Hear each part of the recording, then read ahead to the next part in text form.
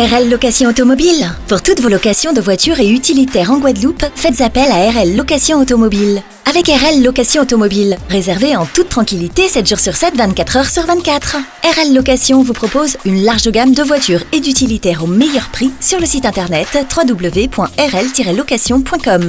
RL Location, c'est aussi l'assistance et la livraison. Pour tout renseignement, contactez-nous au 0590 10 66 87. RL Location Automobile, la location en toute simplicité. Guadeloupe, actualité.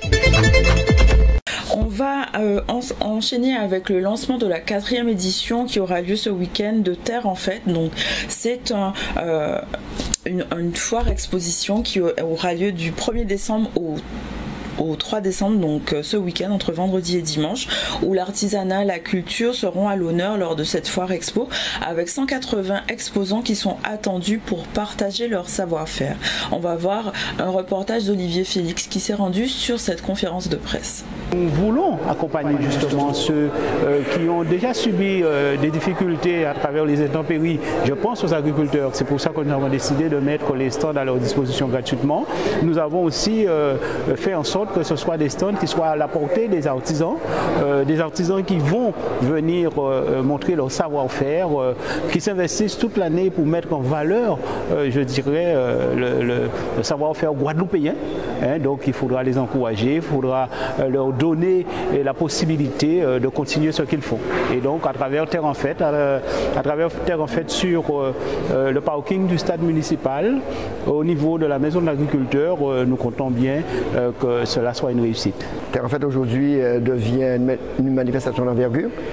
L'année dernière, nous avions à peu près 80 exposants. Cette année, nous sommes à 180, donc plus que doublé. Donc, euh, on attend avec impatience le 1er, le 2, le 3 pour lancer les hostilités. Mais je pense que tout le, savoir-faire euh, artisanal guadeloupéen sera, sera à Petit Canal. Et j'invite déjà la population de Petit Canal à nous rejoindre, à venir en masse pour pouvoir montrer notre savoir-faire, non pas seulement dans l'artisanat, mais aussi culturellement, puisque nous avons des manifestations culturelles, associatives. Nous avons aussi euh, des, groupes, hein, danse de quadrille, euh, enfin, chanter Noël avec chapeau canal, enfin, beaucoup, beaucoup de manifestations.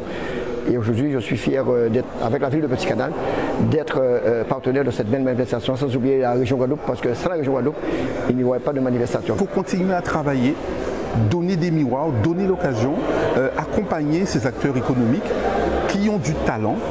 Et euh, parce que si on veut euh, continuer à consolider notre modèle économique, il faut que demain, nos petits artisans, il faut qu'en leur offrant cette possibilité de se montrer, de montrer leur talent, on permet aussi de, structurer leurs entreprises. Et on voit bien que ça marche. On voit bien que cette stratégie que, la région met en place, que le président, sous la voie du président Richard ce que nous mettons en place, on voit bien que ça fait qu'il ben, y a de plus en plus d'artisans structurés, il y a de plus en plus, euh, l'économie de Guadeloupe, se densifie, mais il faut qu'on continue. On est encore loin de ce qu'on peut faire.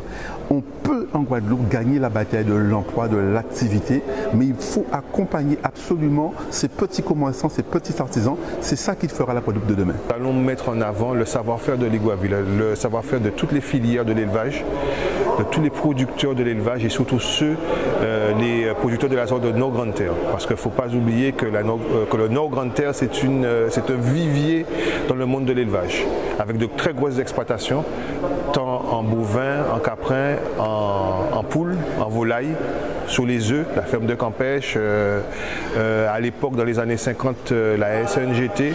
Donc pour nous, il était incontournable que nous ne puissions pas être présents. Maintenant, il ne reste qu'à recevoir le public guadeloupéen, qu'à recevoir les Guadeloupéens nous sommes prêts à accompagner nos artisans, nos agriculteurs. C'est famille en nous, c'est nous, c'est frères nous. Et la solidarité va permettre que la manifestation soit une réussite. En tout cas, en matière de moyens, de logistique et de euh, nous avons euh, travaillé en amont, nous avons tenu euh, plusieurs copiles pour nous assurer que tout le monde allait se retrouver sur la manifestation. Et donc aujourd'hui, on est fait prêt. L'inauguration du nouveau parc éolien qui a eu lieu sur Capester de Marie-Galante.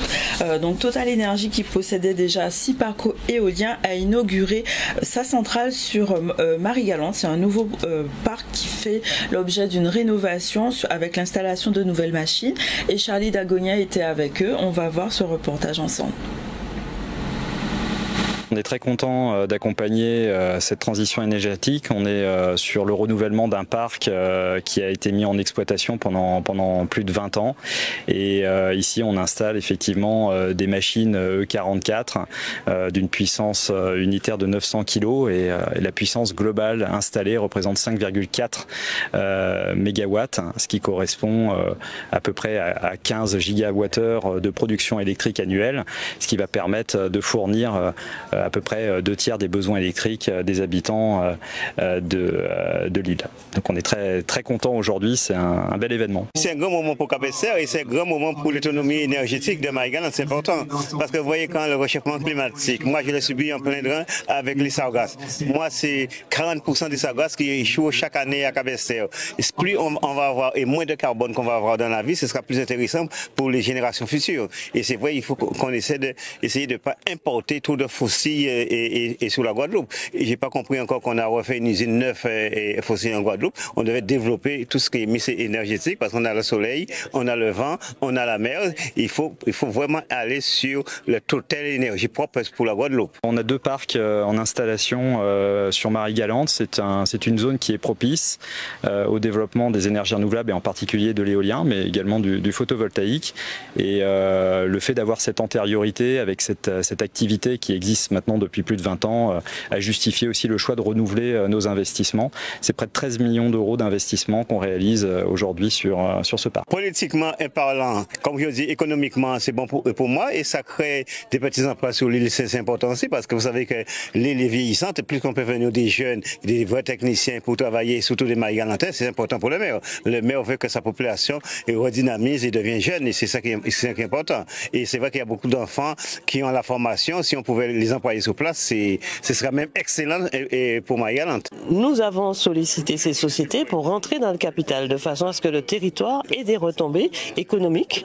Hein. oui, c'est bien pour le territoire qui soit là, mais nous voulons aussi que ça rapporte quelque chose au territoire.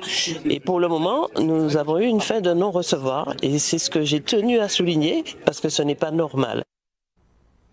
Voilà, donc ce nouveau parc éolien qui va permettre de créer des emplois et de redynamiser l'île avec des retombées qu'on espère économiques impactantes. On va revenir sur la conférence sur la politique monétaire qui a eu lieu euh, ici en Guadeloupe, initiée par la Banque de France. Ces rencontres permettent de discuter, d'échanger et de répondre à des questions sur les sujets d'actualité économique. Euh, Max Morel était avec eux pour cette conférence. Alors, le thème de cette conférence, c'est les perspectives économiques mondiales dans le cadre du nouvel environnement que l'on connaît là depuis les crises pandémiques, climatiques et puis géopolitiques. Notre premier rôle en tant que banque centrale, c'est d'expliquer finalement le rôle de la politique monétaire pour vaincre l'inflation. Euh, aujourd'hui, l'inflation, c'est la préoccupation numéro un des Français. Tous les sondages le montrent. C'est plus le chômage, c'est l'inflation. Or, notre mandat en tant que banque centrale, c'est d'assurer la stabilité des prix, donc d'assurer le retour de l'inflation vers 2% à l'horizon 2025. Alors cela se fait, on le voit d'ailleurs, puisque l'inflation aujourd'hui a commencé à reculer. Notre instrument, c'est les taux d'intérêt. La Banque centrale remonte les taux d'intérêt pour notamment modérer le crédit, éviter finalement une surchauffe de l'économie. C'est un peu comme euh, quand vous avez votre pouls qui bat trop vite, il faut faire une, une pause et c'est un peu ça le rôle de la politique monétaire. Va euh, enchaîner avec un, reportage de Maurice Cessé qui euh, nous a fait justement un petit point par rapport au maire et au congrès qu'il a pu avoir sur Paris. Une délégation était justement venue sur bah, Paris pour, pour parler de différents sujets. On va voir ce reportage ensemble. Outre-mer je me trouve dans les locaux de la DOM, qui est l'agence de l'outre-mer pour la mobilité, où M. Saïd Ahmada a profité de la venue à Paris des élus à l'occasion du congrès des maires pour rencontrer ces maires ultramarins et leur parler, leur indiquer les toutes dernières orientations de cette structure qui reste encore méconnue, qui est la DOM. Je vous propose de regarder les quelques interviews que nous avons réalisées. Ben, effectivement, nous saisissons l'occasion qui nous est donnée en plein débat sur la mobilité pour venir voir dans le détail avec le directeur et euh, une, charmante guadeloupéenne la personne de Kéza Nubré qui dirige aussi avec lui la maison pour savoir euh, quelles sont les modalités d'accès accès à ces dispositifs, parce qu'on en entend parler dans les médias de façon vague et globale, mais dans la pratique, que devons-nous dire aux administrés qui s'adressent à nous pour trouver une aide afin de se rendre dans l'Hexagone, qui pour une formation, qui pour répondre, à une demande d'emploi. Donc euh, pour nous, c'est une magnifique occasion puisque le directeur, en la personne de M. Saïd Al-Mabad, nous enseigne directement. Et nous nous rendons compte que finalement, euh, c'est plus euh, utilisable, gérable qu'on ne pouvait le penser. Et il y a eu ce fameux débat sur l'article 50 et il nous apporte ses lumières pour que cela soit moins effrayant qu'on y pensait. Oui, tout à fait, tout à fait.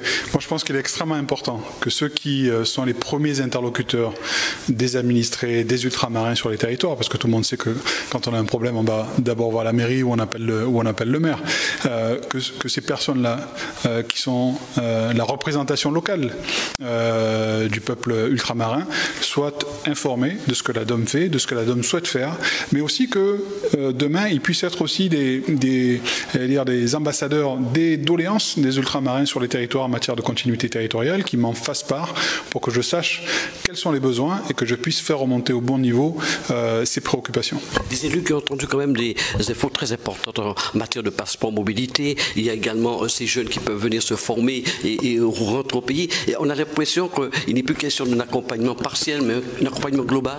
Tout à fait. L'ambition qui a été celle euh, du président de la République et du gouvernement en me confiant cette mission, c'est que la DOM soit au service des ultramarins et des territoires ultramarins dans le domaine de la mobilité, de la continuité territoriale. C'est une mission de service public et, je m'honore, on s'honore au sein de la DOM avec nos équipes de pouvoir remplir cette mission qui est de dire à un ultramarin, vous avez les mêmes droits que celles et ceux qui sont en territoire hexagonal lorsque vous voulez accéder à une formation ou à des études. Et donc, la République vous aide en prenant en charge la mobilité pour que vous puissiez accéder à ces études ou à cette formation professionnelle. News Radio sur outremernews.fr